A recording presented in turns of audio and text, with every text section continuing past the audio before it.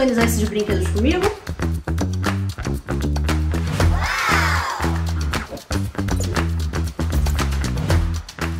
Eu vou fazer uma coisa muito importante, que é o seguinte, eu já vou pegar umas caixas e colocar aqui perto de mim que é, nesse momento, eu preciso fazer uma seleção, que é separar as famílias. Como diz, a minha filha gosta de chamar de famílias. Eu chamo essa parte assim de seleção e categorização. Ela diz que são as familhinhas. Então tem a familhinha das comidinhas, a familhinha das bonecas, a familhinha dos carrinhos, né?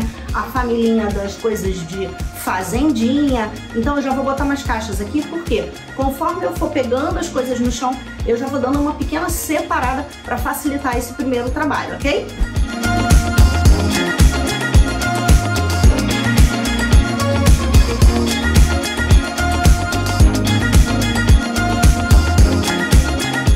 Ufa! Terminamos a organização. Vamos ver o que a gente aprendeu hoje? Aqui nessa organização de brinquedos, o que a gente fez primeiro? Separou o que, que era igual, o que, que era da mesma família, tudo separadinho. A gente deu uma olhada. O que estava quebrado, o que, que precisava jogar fora, o que, que tinha item repetido, né? Aquele belo desapego que com brinquedo a gente precisa fazer frequentemente, tá? Não tem jeito, gente. Assim, a, a mãe, o responsável, o pai, né? Quem costuma mexer nessas coisas aí precisa dar uma olhada, tá? É lógico que é sempre bom fazer isso com a criança, né? Mas tem coisas que os pais podem sempre dar uma olhadinha. Às vezes tem aquele monte de pecinha solta, sabe? Brinquedo quebrado, né? Isso tudo você já pode ir tirando. Agora, itens muito repetidos. Ah, tem um monte de boneca, tá? Acima de dois para três anos, três anos para cima, eu sugiro que você faça junto com a criança. E aí, uma dica muito legal para você. Faz o seguinte, não pergunta qual que ele quer. Fala assim, esse ou esse, tá? Porque crianças nessa idade costumam ficar muito em dúvida. Então você fala, esse ou esse. E aí a criança vai escolher um. Porque se você falar o que que fica, ele vai querer que fique tudo, né? Ele acha que ele brinca com tudo, mas você, mamãe ou papai, sabe exatamente o que mais ele brinca e o que que ele esquece, ok? Depois que a gente fez isso tudo, a gente colocou dentro de caixas, sempre as mesmas famílias, né? Como eles gostam de chamar, tá? Na organização eu chamo de categorização, as crianças gostam muito de chamar de familhinhas. Então tem a familhinha da fazendinha, a familhinha dos aviões, a familhinha dos carrinhos, das motos, das bonecas, das bonecas miudinhas com as suas roupinhas e acessórios. Então, você pode criar familhinhas de acordo com o que a sua criança gosta de brincar, de acordo com o que a sua criança entende como uma familhinha, tá? Assim, isso vai mesmo de criança para criança, né? E aí, nessa hora, é importante a gente conter a bagunça. Como é que a gente contém a bagunça? Né? Com caixas tá? É muito importante colocar dentro de caixas, porque senão essas coisas vão se espalhar. Na hora deles brincarem é muito comum eles virarem tudo no chão, mas aí como é que depois volta pro lugar? E como é que você ensina isso para as crianças para voltar pro lugar? Tendo caixas, tendo lugares, tendo. É, eu gosto até de, de, fazer uma coisa lúdica. Falo para eles: olha, os brinquedos precisam dormir nas suas casinhas, precisam dormir nas suas caminhas. Então, quais são as casinhas e as caminhas? As caixas. E aí, nesse sentido, as caixas transparentes são maravilhosas.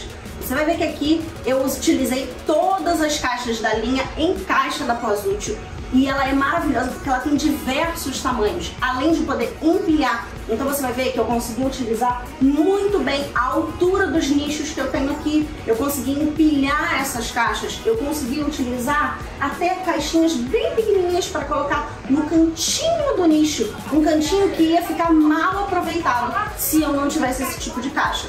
E passando por cada setor, tá? É, você vai ver que eu coloquei aqui embaixo de onde fica a casinha, por exemplo, eu coloquei coisas relacionadas à boneca, né? Que, assim, a minha filha gosta de pegar as bonequinhas e brincar nessa casinha. Então, estão próximas, né? É uma, uma regrinha básica da organização, deixa próximo o que você brinca junto, o que você usa junto, ok?